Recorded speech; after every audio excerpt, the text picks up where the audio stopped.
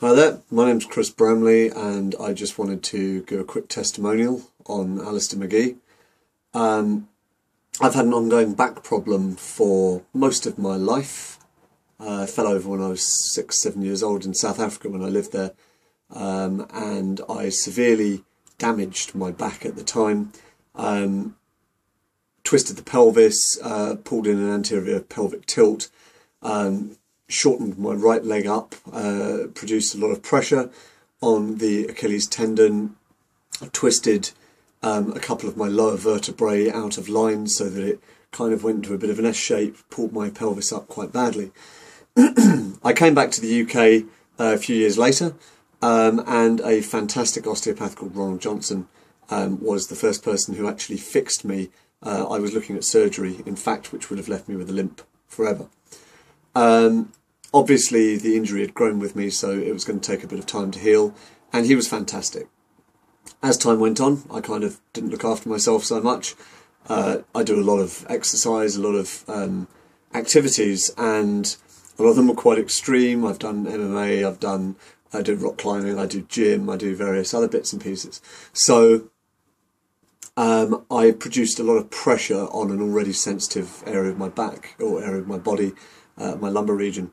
Um, a little while ago, it went extremely badly. Um, it was getting worse and worse after squatting 170 kilos on a regular basis, um, without realizing that my back was twisted and various other things. So, I um, eventually had it go. Uh, I was stretching over a Swiss ball early in the morning before going off in the car, and I just couldn't get back up. I collapsed like I was 80 years old. I was in extreme agony. Um, I didn't know exactly what it was. I didn't know how to fix it. I could barely think straight.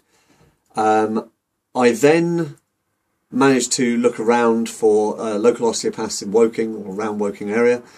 Um, and I was specifically looking for uh, somebody who'd been mentored by Ronald Johnson.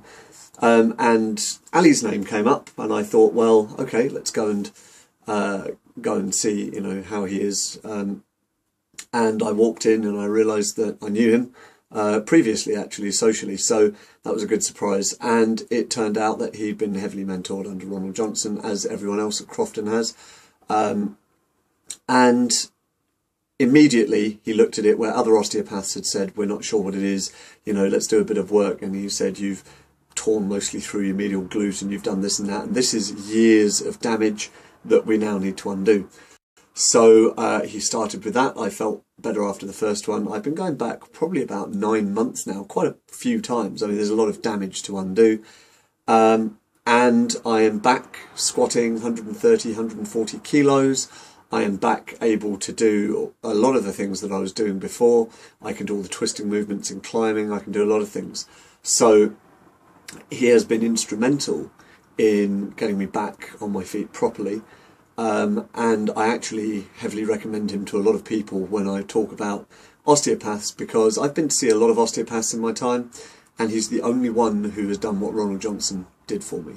So uh, I just wanted to wholeheartedly um, give my support for Alistair McGee. He is a fantastic osteopath, um, and he also has a lot of other training. He also understands uh, sport and training injuries because he's very active himself. Um, so I would strongly recommend if you have any kind of injuries, especially pertaining to sports or activities, to give them a call. Cheers.